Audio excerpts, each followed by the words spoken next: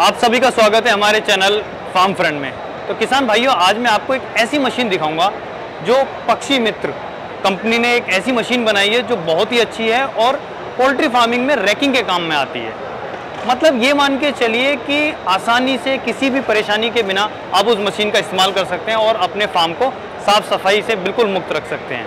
तो किसान साथियों, जानते हैं उस मशीन के बारे में।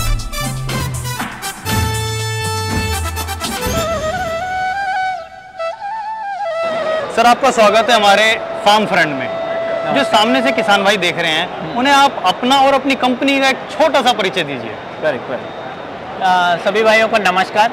अ, अपनी कंपनी का नाम है पक्षी मित्र। जी। मेरा खुद का नाम है शंकर। जी। पक्षी मित्र जो है पोल्ट्री फ़ार्मिंग में सबसे जो तकलीफ़ का काम बचा हुआ है जिसको हम रेकिंग बोलते हैं हम्म। वो आसान करने के लिए हमने ये मशीन बनाई है। तो सर मुझे एक बात बताइए आपने ये मशीन बनाई हम्म। मतलब जब आप इस मशीन को बनाने वाले थे या इसके बारे में सोच रहे थे हम्म। तो मतलब क्या माइंड में आया कि यार चलो यार ये सबसे बड़ी परेशानी है इसमें पोल्ट्री फ़ार्मिंग में इस मशीन को बना देते हैं ऐसा। क्या आया था आपके दिमाग में आ, वैसे तो प्रॉब्लम डायरेक्टली नहीं देखा हमने जी। हुआ कैसे है कि हम लोग बेसिकली इंजीनियरिंग ग्रेजुएट हैं हम लोग ने काफ़ी सारे इक्विपमेंट न्यूक्लियर के लिए भी डिज़ाइन किए जी और कहीं एक सा- एक टाइम पे हम लोग फार्म पे चले गए थे। मतलब दोस्त का फार्म था। तो बोले कि यार आप इतने सारे डिज़ाइन करते हो अलग अलग काफ़ी सारा नाम सुना है। जी। तो क्या हमारी ये जो रेकिंग की तकलीफ़ है ये जो हम लोग मैनुअली करते हैं उन्होंने करके दिखाया उधर कि। ये चीज़ ऐसे करते हैं। जेली से। जेली से। जी। तो इसको मशीन बना के दिखाओ। अच्छा। तो हम लोग ने सोचा यार अभी हम लोग आ गए ऑटोमेशन में। रोबोट चलते हैं ड्रोन चलते हैं। ऐसे कैसे हो सकता है कि जो इंडस्ट्री 50-60 साल पुरानी है। उसमें कुछ चेंज लाया मशीन नहीं है। जी। मशीन नहीं है मतलब बात अलग थी। मशीन है अच्छा मशीन बनाना बात मशीन नहीं। तो फिर हम लोग ने सोचा कि चलो भाई इसको बना देते। मतलब सोचा कि चलो टूल एक टूल उनके लिए बना देते क्या कि अपने रिलेटिव तो उतना फार्मर का तकलीफ़ कम हो जाए। जी। फिर ऐसे सोच सोच के जब हम लोग उसमें गए तो फिर समझ में आ गया कि 50-60 साल के बाद भी इसका मैकेनाइज टूल क्यों नहीं हम्म, क्योंकि जो भी चीज़ बनेंगे हम लोग एग्री के जो इम्प्लीमेंट देखते हैं वो तो डीजल पे चलते हैं बहुत सारे सस्ते सस्ते और काफ़ी सारी चीज़ें बिल्कुल। बट आज भी वो चीज़ पोल्ट्री में क्यों नहीं होती? बिल्कुल। क्योंकि पोल्ट्री में क्या है दो चीज़ों का पूरा ध्यान रखना पड़ता है।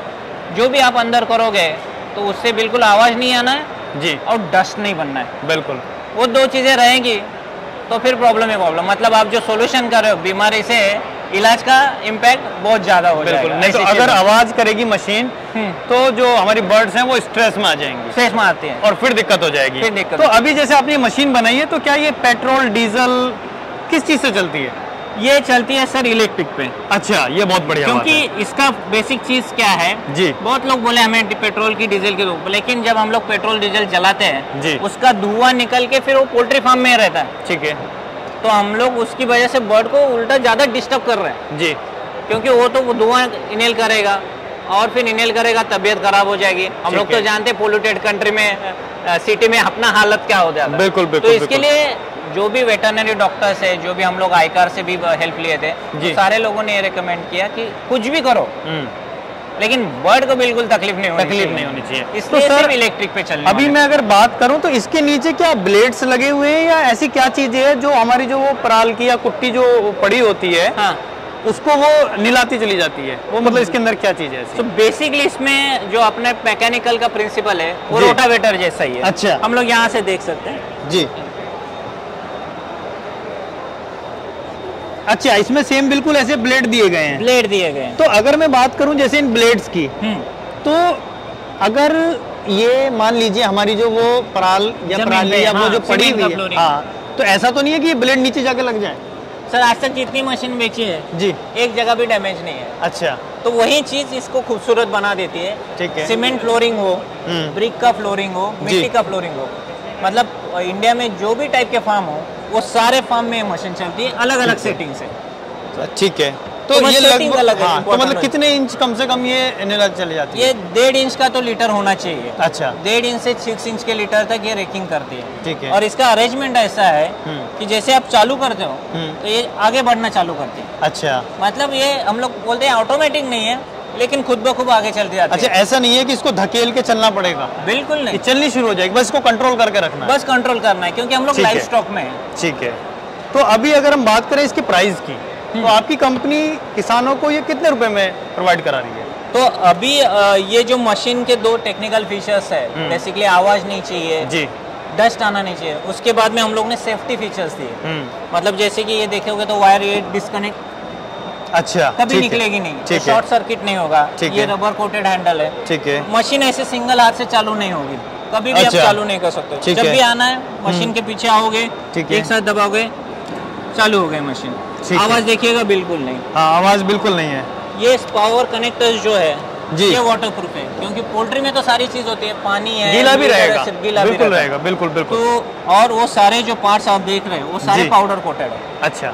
तो इसका ये सारी जो जो फीचर है उससे वजह से मशीन कम से कम आपको दो अढ़ाई साल कुछ भी प्रॉब्लम नहीं देगी। ठीक है।